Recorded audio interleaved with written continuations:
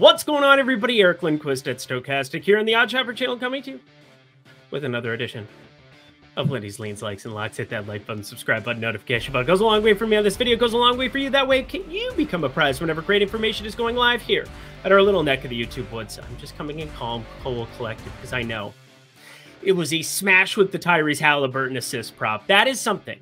If you want to know why you want to be a part of that premium Discord, I, I don't jump in there every single time after I get done recording this video. But I ended up researching for a couple hours afterwards. Didn't have my best day, obviously, on Wednesday, but Thursday.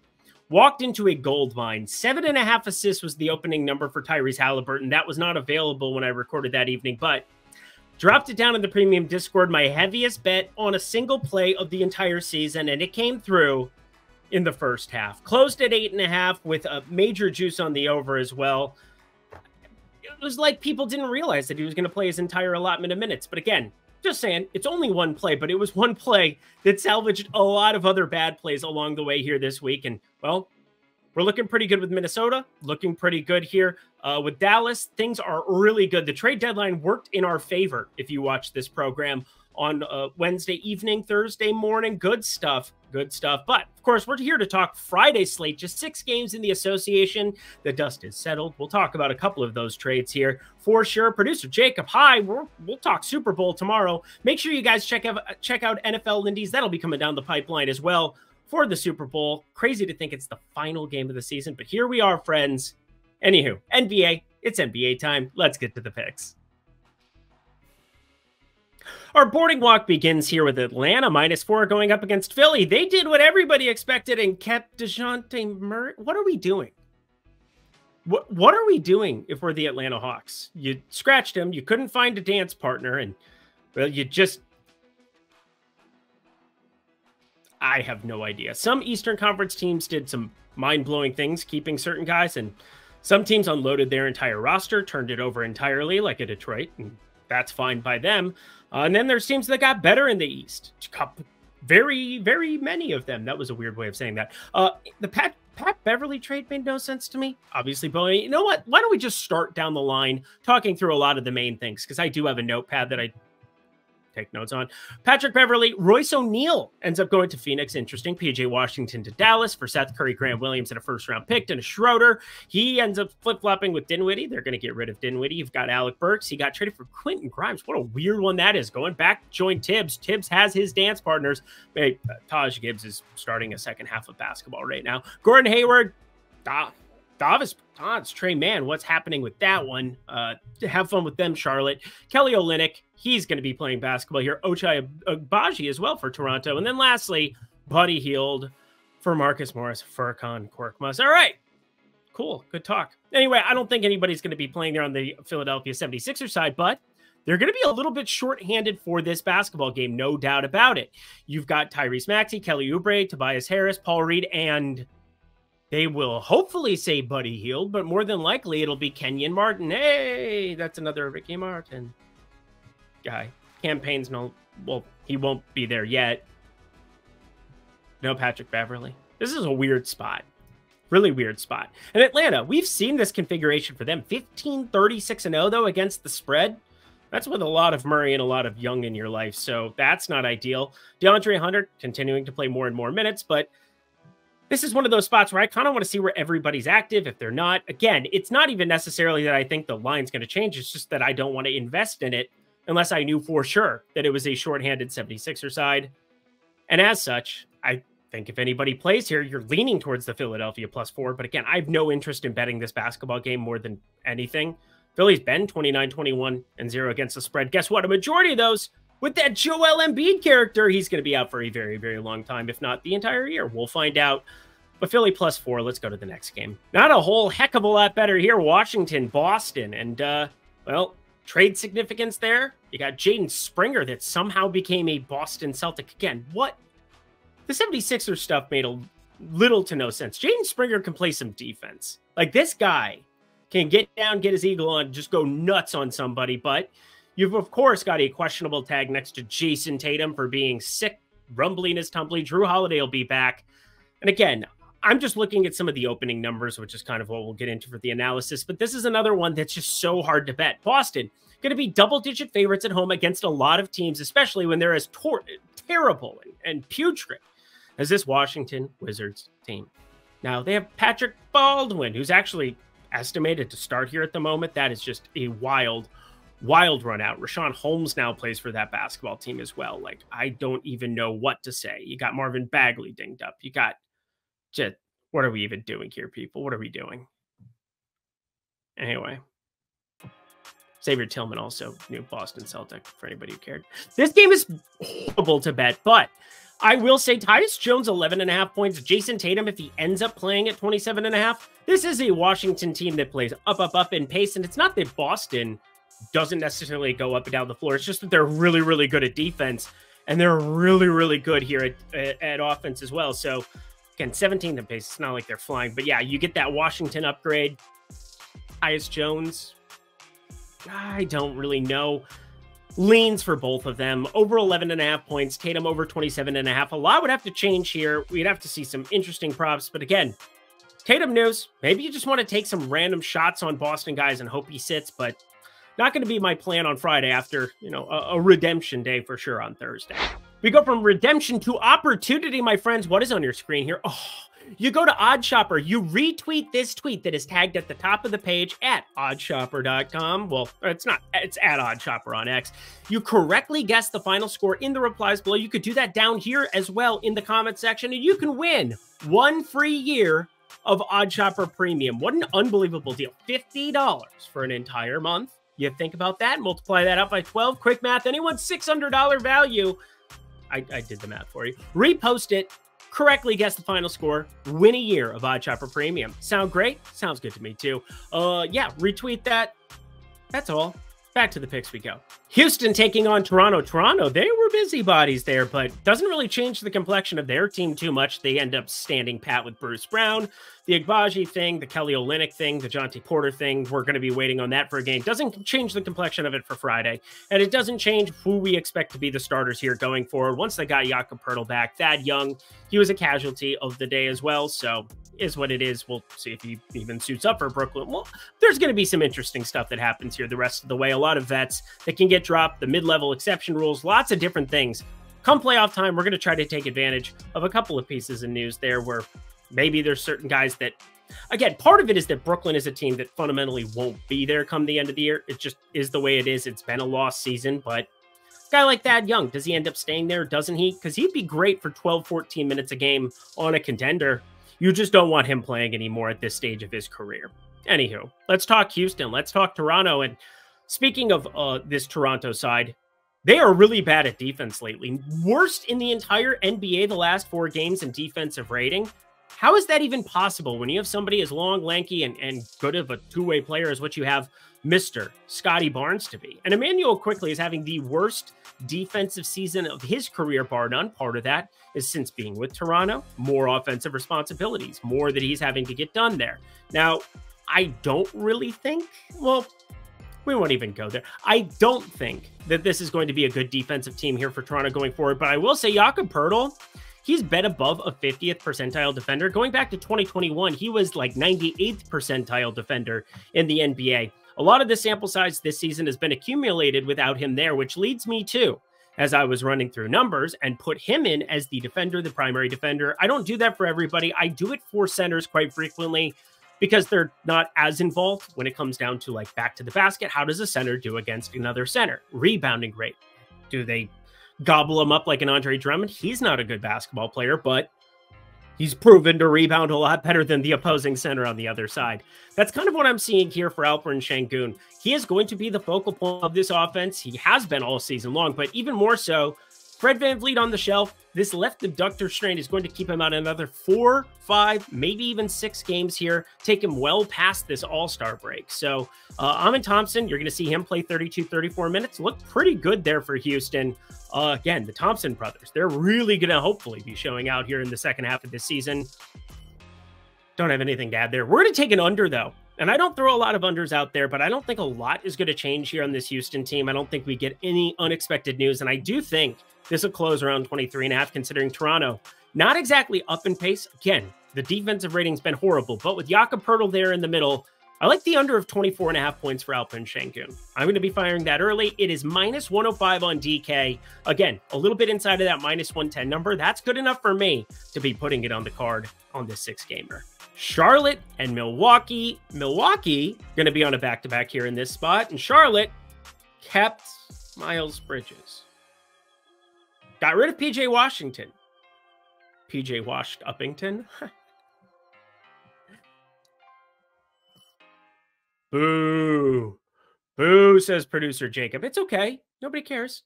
Well, actually, I care. I care about your feelings, but you don't care about mine. Neither does YouTube. Anywho, let's continue on our merry way here. It's an interesting spot here. Milwaukee on the back to back. Damian Lillard sat out on Thursday. What happens here Friday? Again, why they ended up just at home here?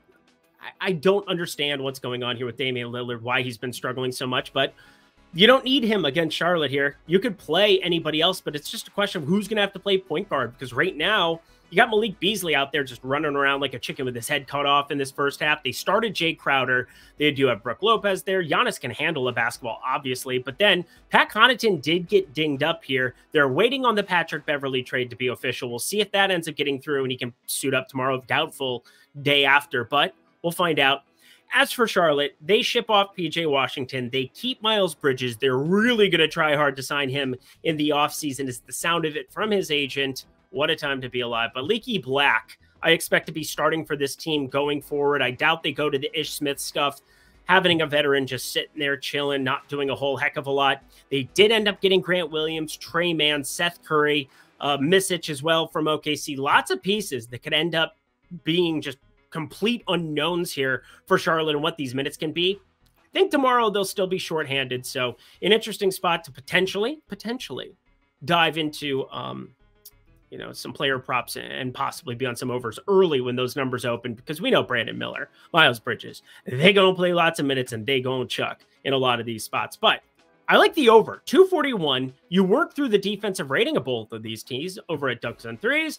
Well, let me just say it isn't very good. Charlotte dead last in adjusted defensive rating, and Milwaukee down at 18th. You can't win an NBA title being 18th in adjusted defensive rating in the year of our Lord 2024. It's just not a thing you can do. So Milwaukee Got to shore that up. But in the meantime, let's get some points on the board. That'd be great. Still playing up in pace are Milwaukee, third in the Neo Association in that department. At Charlotte, yeah, they're down to 20th because no LaMelo Ball. He'll be out yet again, but no Gordon Hayward there. No PJ Washington there. It's going to be an interesting. Oh, it's going to be a terrible team to watch. Let's be serious. Let's also be serious. This is an unbelievable deal over at Bet365. Friends, if you're in Arizona, it just went live. Bet365 is now officially in your state one of the most reputable sports books worldwide. Yes, worldwide. Prestige worldwide, wide, wide. Arizona, Colorado, Iowa, Indiana, Kentucky, Louisiana, New Jersey, Ohio, and Virginia. You can all take advantage of this offer in the meantime. Bet 5, get $150 when you sign up at the link below. Again, it is as simple as going to the link down there, taking a minute, signing up at Bet365, depositing $5, betting $5 and getting $150 back in bonus bets. The link is down there. Take advantage of it before the Super Bowl. You want some extra some some extra bonus bets? Do it right now. Take advantage of it, friends. Only if you're 21 and over, 18 and over in Kentucky. If you have a gambling problem, please call 1-800-GAMBLER. Back to the picks we go. The Denver Nuggets, they are yet to play basketball, about a half an hour away from playing basketball in Los Angeles. They're going to be taking on Sacramento, heading up to wine country. Well, actually, it's wine country adjacent.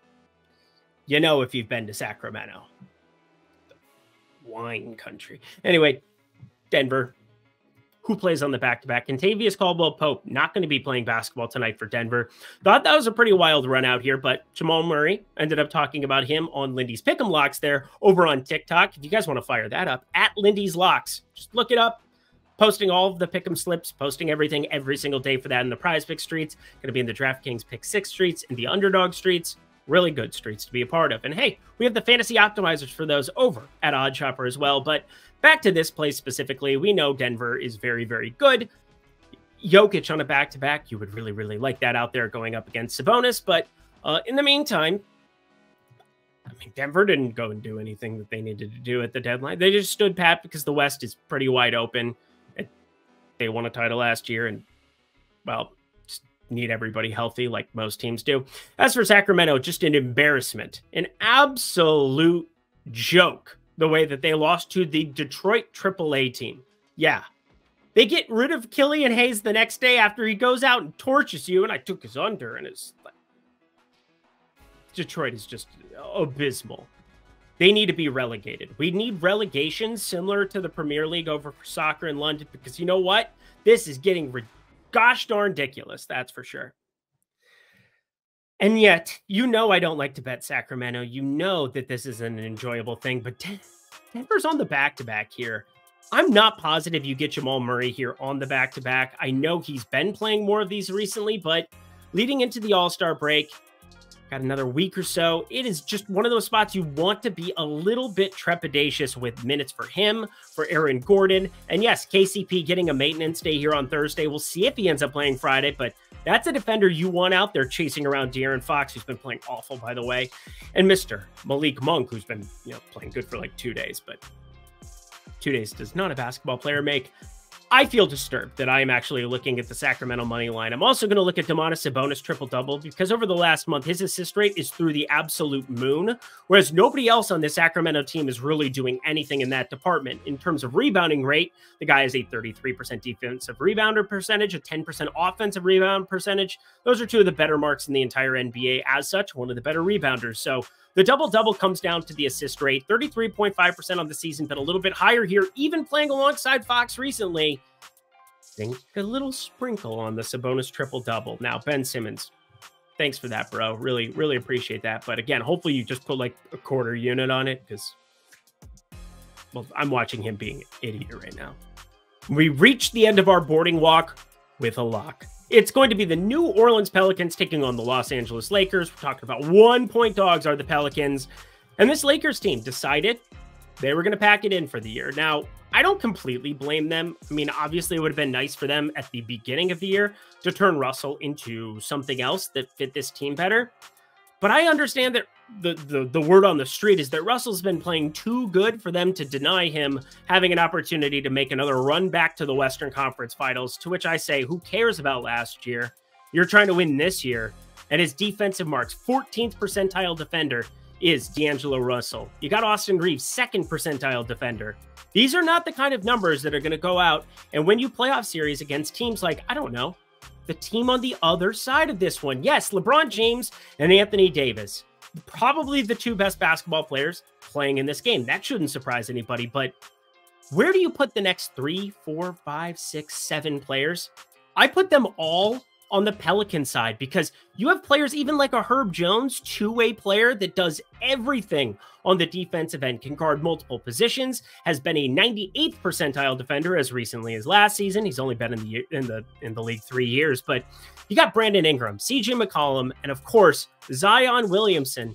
That I would put as the next three best players in this game, and have been playing at such a high level it is hard to really look at them and what they did against the Clippers and not be impressed enough by it. Got the off day on the in between of these games, and now you're getting a Lakers team that will be on the back to back, could be sitting LeBron or Mr. Anthony Davis. They're facing Denver here in about T minus 25 minutes.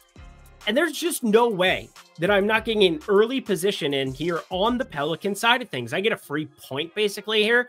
We're talking minus 105 on that side of things if you want to go to the money line, but I'm happy to take the push on the one. So what whatever. This is something that will move drastically if you get one of LeBron or Mr. Anthony Davis sitting out. And of course, the Zion thing is always worth noting, but he's played through these Q tags a lot lately and well, this is the first time we haven't had him with the Q tag there. We have Jonas Valanciunas news to pay attention to, but Larry Nance, he'll have revenge in his heart, although I don't care about stuff like that. Just saying that Valanciunas defensively is so bad that anything is an improvement. Anywho, Pelicans are going to roll in this one, and I would like to jump on the money line side of things. Again, maybe take the free point. New Orleans Pelicans plus one or money line, money line or plus one.